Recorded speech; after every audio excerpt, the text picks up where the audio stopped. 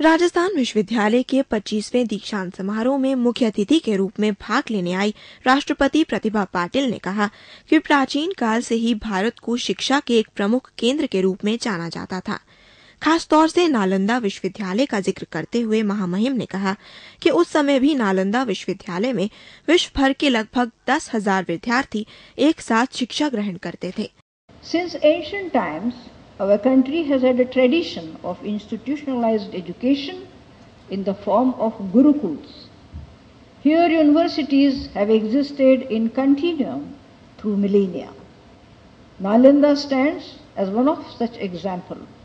It is said that one time it had about 10,000 resident students and teachers on its rolls with scholars from distant lands.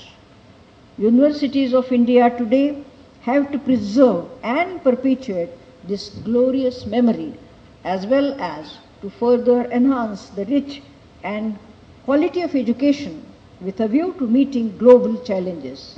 उन्होंने वैश्वीकरण के दौर की चर्चा करते हुए कहा कि आज तकनीकी शिक्षा के क्षेत्र में तेज़ी से परिवर्तन हो रहे हैं। पाटिल ने प्रदेश का ज़िक्र करते हुए महिला शिक्षा को बढ़ावा देने की ज़रूरत बताई। उन्होंने जवाहरलाल नेहरू का संस्मरण सुनाते हुए कहा कि एक बालक को शिक्षा देने से व्यक्तिगत ज्ञान बढ़ता है, जबकि एक बालिका को शिक्षित करने से पूरे परिवार को शिक्षा मिलती है।